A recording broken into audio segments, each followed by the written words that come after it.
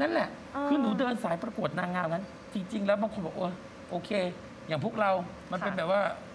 LGBT มันก็ต้องชอบประกวดสิชอบใช่การแสดงสิหรืออะไรอย่างงี้อืมหนูบอกไม่ใช่ ไอการประกวดของหนูน่ะคือสัมมาอาชีพที่จะเลี้ยงชีพในแต่ละวันถูกใช่ค่ะหาเงิน หนูประกวดเลี้ยงอาชีพอย่างนั้นอยู่นานแค่ไหนลูก ตั้งแต่อายุ 15 ค่ะ จนถึงปัจจุบันที่หนูได้ดำรงตำแหน่ง Miss Tiffany 2020 ก็ประค่ะ กวดมาเรื่อยใช่ๆค่ะ อาชีพที่เลี้ยงหนูมาเลี้ยงเออที่หนูมีข้าวกินมีเงินแล้วก็มาจากอาชีพการประกวดใช่ค่ะ ค่ะ มาจากการประกวดทั้งหมดเลยหนูค่ะแบ่งเวลายังไงกับการประกวด ก็แบบ ส่วนมากงานเทศกาลอะไรอย่างเงี้ยค่ะมันจะตรงกับวันเสาร์อาทิตย์พอดี แล้วก็ในช่วงวันสงกรานต์เทศกาลลอยกระทงอะไรอย่างเงี้ยค่ะก็จะเป็นช่วงของวันหยุด คือมันก็จะไม่มีผลกระทบกับการเรียนเท่าไหร่ค่ะหยิกหยิกหยิกพูดความจริงทำไมต้องคะ ไปประกวดวันที่แบบว่าไม่ชนกับฉันเออทำไมอะถ้าชนฉันเขาก็ไม่ได้อ๋อเขาได้ที่หนึ่งพอถ้าเกิดชนป้าตือก็เอามงไปไงโอ้เขาไม่ได้ตัดสินที่ความสวยนะ ตัดสินที่อายุ อ่า เขาเชื่อไหมฮะว่า หลังจากนั้นนางถ้าสมมติจะพูดจริงๆ ประกวดงานวัดงานอะไรระดับประกวดมาหมดเลย ใช่ค่ะ เคยคิดบ้างไหมแบบพี่เคยถามเด็กๆเด็กเดอะสตาร์ที่มันเป็นนักร้องค่ะ บางคนบอกพี่มดไอ้เงินประกวดหนูได้เป็นล้านเลยนะ อืม เงินประกวดที่ชนะไอ้ร้องเพลงเนี่ยอ่า หนูได้เป็นล้านหนูซื้อบ้านอยังหนูเคยบวกลบคูณหารออกมาไม่รู้ว่าหนูประกวดมาได้เงินประมาณเท่าไหร่ ได้ถ้าบอกลบคูณหาร ถ้าบอกเป็นตัวเลขจริง ๆ อาจจะไม่สามารถบอกได้เพราะมันแบบมันหลายเวทีอืมมากอ่าๆมีอยู่ อะครั้งหนึ่งทั้งตลอดทั้งปีอะค่ะ หนูมีประกวดประมาณ 35 เวทีจ้ะปีแล้วหนึงแล้วเหรคืออ ได้มงกุฎทั้งตลอดทั้งปีนั้นเลยแล้ค่ะ วเอา คือได้มงกุฎทุกเวที อืมแล้วเขาบอกส่งตัวเองจนเรียนจบอะ อ๋อใช่ค่ะ แล้วคือที่บ้านยังเก็บมงกุฎไว้ไหมเก็บไว้เก็บใส่ลังไว้แบบว่าเยอะใส่ลังมากไว้ๆค่ะ อ๋อปีละเหรอ แล้วเคยปีละ ปีละ35 35 เวเวที ที ละสามสิบกว่าแล้วก็เวทีอยากรู้รางวัลชนะเลิศในแต่ละเวทีอะประมาณเท่าไหร่ค่าเฉลี่ย ก็ประมาณสัก 10,000 บาทถึง 1 5ื่นอะไรเงี้ยแต่ละเวทีก็จะไม่เท่าแต่กันต้องแบบบางพี่ทีเลี้ยงใช่ก็ไหมลูก 5,000 30,000 อะไรไม่เงี้ยค่ะแต่แตกเธออต่าย่างลืกัมน นะว่าทุกการประกวดอะมีต้นทุนและเป็นต้นทุนที่ใช่แพงมากใช่ค่าใช่ชุดใช่ค่าหน้าค่าค่าผชุมดค่าหมดพี่ละเลี้ยงค่าเดินทาง แต่ก็เรียนจนจนจนส่งตัวเองจนส่งตัวเองเลย แล้วก็ส่งให้พ่อแม่ด้วย ใช่ค่ะ ส่งให้คุณพ่อคุณแม่ด้วยซื้อรถค่ะได้ด้วย ซื้อรถอันนี้ก็เป็นรถจากการประกวดอะไรอย่างเงี้ยค่ะถ้าสมมติเขาแจกบ้านหล่อนก็ต้องได้บ้านกับเขาอะนะ บ้านเขาเขาสวยเข้าใจมาเขาสวยนี่คือเขาเป็นแบบว่าเด็กสู้ชีวิตเราชอบเขาตรงนี้จมากริงๆเพราะฉะนั้นคุณดูนะ การเดินสายประกวดเขาบางคนบอกอุ๊ยอาจจะชอบไม่ใช่ เดินสายประกวดจนส่งตัวเองเรียนจบ จนวันหนึ่งดวงคนเราอะอืม หนูต้องไปประกวดที่ประเทศจีน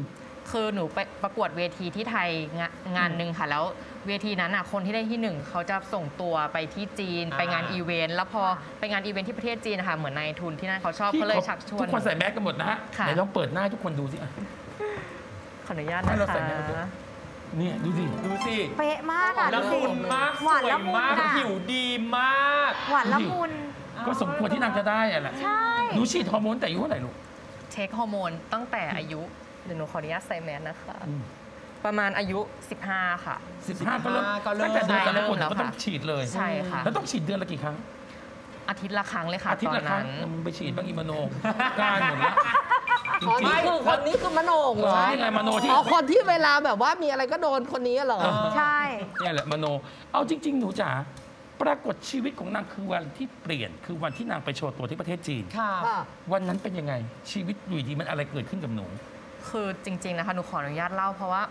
มีแม่หมอเคยดูดวงหนูอยู่คนนึงแล้วไปนั่งทานข้าวด้วยกันค่ะพี่มดดำอยู่ดีๆเขาก็ทักหนูมาว่าเนี่ยต่อไปเนี่ยหนูจะมีชื่อเสียงนะ หนูถามว่าหนูประกวดหนูจะได้ที่หนึ่งไหมคะเวทีนี้ อืมพี่ว่าหนูไปไกลได้กว่านั้น และตอนนั้นคือหนูอยู่แบบม .5 อายุอืม17 ปี เราไม่เคยคิดเลยว่าเราจะได้ไปทำงานที่ประเทศจีนแบบคนจีนชอบเราอะไรอย่างเงี้ยไม่เคยมีความคิดนั้นอยู่ในหัวเลยค่ะ แต่พอมันมาถึงวันนั้นจริงๆอะหูก็รู้สึกดีใจ แล้วก็นึกย้อนไปถึงคุณแม่หมอคนนั้นว่าแบบอุ้ยทำไมเขาทักเราได้แบบตรงจังเลยอะไรอย่างเงี้ยค่ะ ปรากฏว่านางเริ่มไปเล่นหนังจีนอุ๊ยนี่ไงนี่ไงปลายครั้งแรกๆได้ตอนหลักหมื่นละกี่หมื่น ได้เงินใช่ไหมคะก็ ก็ได้คุ้มกับสิ่งที่เราทำไปอะไรอย่างเงี้ยค่ะ เขาบอกว่าตอนหลังๆนี่หนูเล่นทีแบบได้หลักแสนต่อตอน ค่าตัวนางหลักแสนต่อตอนนะ เยอะจังเลยอะพาพี่ไปเล่นบ้างสิ พอดีพอดีมีตัวประกอบเหมือนกันเราก็จะไปเอาเล่ได้นมาได้มา แห้วๆเนี่ยตอนเป็นแสนนี่เยอะมากเลยพี่มดเยอะมากสิเยอะมาก ทุกวันนี้หนูเล่นไปกี่เรื่องแล้วลูก ตอนนี้เล่นไปเรื่องเดียวค่ะ แต่อันนี้มันเป็นเรื่องที่จะต้องมีแบบเหมือนซีรีส์ต่อๆไปอะไรอย่างเงี้ยค่ะ แต่คือมันติดโควิด เนื่องจากสถานการณ์โควิดใช่ก็คือหนูก็ไม่สามารถบินไปได้ด้วย ต้องรอเวลา ใช่ ป้า วันนี้ทำไมป้าถึงบอกเอาเด็กคนนี้มา เพราะว่าเด็กคนนี้คือต้องขอโทษตัวเองไม่ได้ดูซีรีส์อะไรป้าตือบอกโมดมันจะได้เป็นความภูมิใจของ LGBTQ ค่ะใช่ ของพวกเราทุกคนว่า ค่ะ เด็กคนเนี้ยบางคนบอกว่าอาจจะบอกประกวด เพื่อความสะใจเพื่อความสุขไม่ใช่ เด็กคนนี้ประกวดเลี้ยงพ่ออประกวดเลี้ยงแม่ ค่ะ ประกวดส่งตัวเองเรียนประกวดใช่เพื่อยังชีพ ใช่ คือเขานี่เป็นนักสู้เราต้องบอกก่อนนะ คือเขาเป็นนักสู้จริง ๆ คือตือเห็นตั้งแต่เขามาประกวดมีทิฟฟานี่ครั้งครั้งแรก แล้วเขาไม่ได้รางวัลนะคะ ครั้งแรก แล้วเขาก็หายไป ฝึกฝนตัวเองแล้วก็กลับมาอีกรอบหนึ่ง แล้วหลังจากนั้นเขาก็ได้ที่หนึ่ง นั่นคือเราเห็นว่าเด็กคนนี้เป็นนักสู้ แต่อะไรก็ไม่สำคัญเท่ากับสตอรี่ของเขาที่รู้สึกว่าเฮ้ยเขาเกิดมาแล้วเขาสวยขนาดนี้อะอืมแล้วเขาแบบสู้แล้วเขาส่งตัวเองเรียนหนังสือ อันนี้คือความน่าชื่นชม อื